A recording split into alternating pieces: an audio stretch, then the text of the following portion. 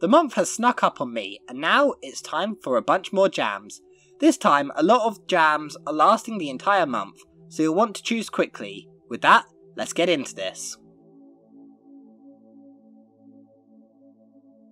The 80s and 90s were a much different time.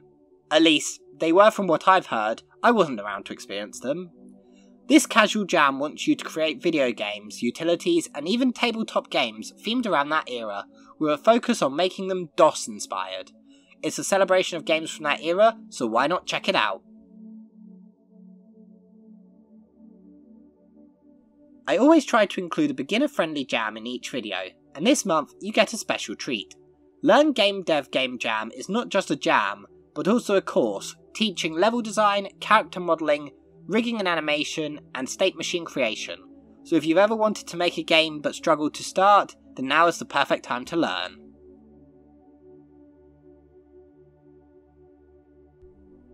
Can I even say the name of this one? The Capitalism Jam is a jam. I won't get into politics, but I kinda had to cover the jam since it's one of the most joined for the upcoming month.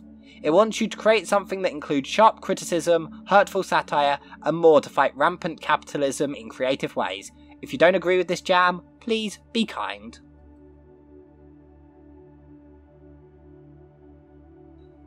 I'm gonna get cancelled at this rate.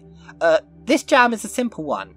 You just have to make a game or story where one of the characters has to be LGBTQ+, and you have to make sure the representation is positive.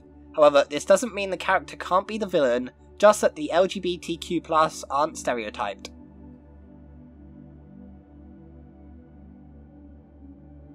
Okay, I might have a slight bias towards this jam, but I'm the one making this video, so deal with it.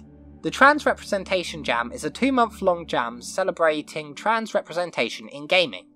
With no further themes, it gives you a chance to be creative, just make sure it's respectful.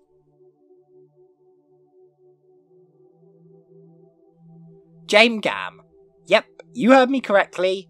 It's a four day jam for beginners with a theme and a special object that you must include.